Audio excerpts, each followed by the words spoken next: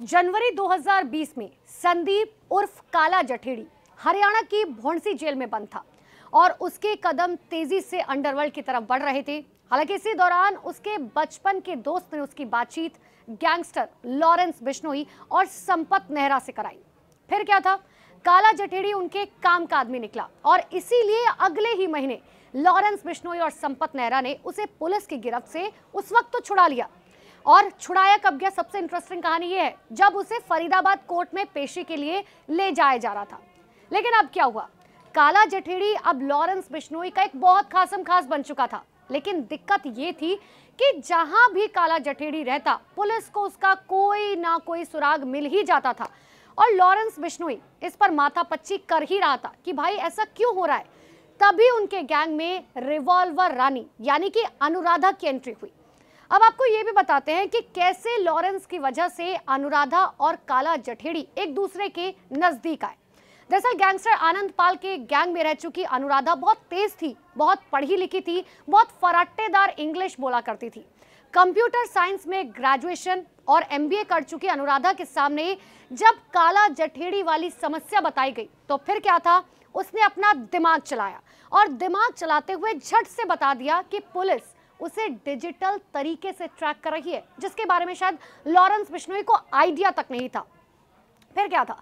Lawrence Bishnoi और उसके साथी गोल्डी बराड़ ने अब अनुराधा को यह टास्क सौंपा कि भाई, आप आप ये देखिए कि काला जठेड़ी को ये सिखाया जाए कि कैसे पुलिस की डिजिटल ट्रैकिंग से बचा जा सकता है। फिर क्या था?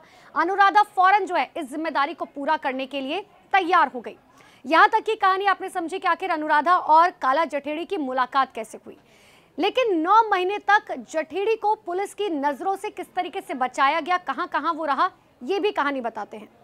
देखिए, काला जठेड़ी और अनुराधा उत्तराखंड के गढ़वाल चले गए। नौ महीने तक वो पुलिस की नज़रों से छिपे रहे। यहाँ साथ रहते हुए दोनों एक दूसरे के करीब आए, दोनों एक दूसरे को दिल दे बैठे और फिर क्या था, वहीं से उनकी प्यार की और प्रेम की कहानी की शुरुआत हो गई। लेकिन हरियाणा के स्पेशल टास्क फोर्स के पास मौजूद जो डोजियर हैं, उसके मुताबिक इस, उसी साल जो है दोनों ने गुपचुप तरीके से शादी कर ली। दोनों पति पत्नी के तौर पर चार महीने तक मध्य प्रदेश के इंदौर में भी रहे।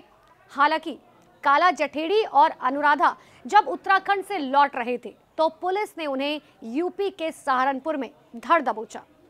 हालाँकि काला जठेड़ी उसके बाद से ही फ़िलहाल जेल में बंद है, जबकि अनुराधा की बात करें तो वो जमानत पर बाहर आ चुकी हैं। लेकिन इन सब के बीच में सबसे बड़ा सवाल ये था कि आखिर अनुराधा जो है वो कैसे रिवॉल्वर रानी बन गई? देखिए, विक्की सिंह ने अनुराधा को लॉरेंस के गैंग से जोड़ा। पुलिस जो बताती है, पुलिस के मुताबिक ये है कि गिरफ़्तार होने से पहले आनंद पाल गैंग में रहते हुए अनुराधा, किडनैपिंग, फिरौती जैसे कई मामलों में शामिल रही है। कई मामलों में जो है उनकी गिरफ्तारी हो चुकी है। यही नहीं, साल 2015 से 2017 के बीच जब आनंद पाल फरार था तो अनुराधा ने ही इस पूरे गैंग की कमान संभाली। हालाँकि अनुराधा जो है इस बात से साफ़ तौर पर हमेशा से इनकार करती रखी है। अनुराधा ने साफ़ तौर पर यह भी कहा कि आनंद पाल की गैर मौजूदगी में उसकी बेटी और भाई विक्की सिंह गैंग चलाते थे। लेकिन बताया तो यह भी जाता है कि अनुराधा आनंद पाल के साथ लिव इन में रहा करती थी। और 2017 में जब आनंद पाल का एनकाउंटर हो गया, तब विक्की सिंह ने अनुराधा की बातचीत लॉरेंस बिश्नोई से कराई। तो ये कहानी थी कि लॉरेंस की मुलाकात अनुराधा से कैसे हुई और कैसे लॉरेंस ने ही अनुराधा को जो है मिलवाया काला जठे, काला जठेड़ी से। लेकिन आज दोनों की शादी हो चुकी है। दोनों की शादी बहुत ही धूमधाम तरीके से की गई। वो हमने देखा छह घंटे की पैरोल पर जो है काला जठेड़ी बाहर आए। लेकिन इस लव स्टोरी की एंगल की शुरुआत जो है वो लॉरेंस बिश्नोई से हुई, क्योंकि लॉरेंस बिश्नोई ही वो शख्स था जिसने अनुराधा और काला जठेड़ी को मिलवाया था।